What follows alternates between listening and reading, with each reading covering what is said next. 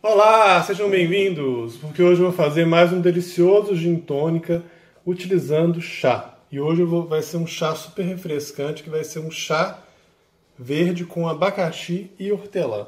Para isso eu já coloquei o sachê aqui na taça e vou deixar em infusão por uns 5 minutos. Como vocês podem ver, o gin deu uma boa colorizada, além do aroma e sabor. Já coloquei o gelo, agora é só completar com uma lata de água tônica. Eu coloquei cerca de, 100, de 50 ml de gin. E está prontinho. Eu espero que vocês tenham gostado. E até a próxima!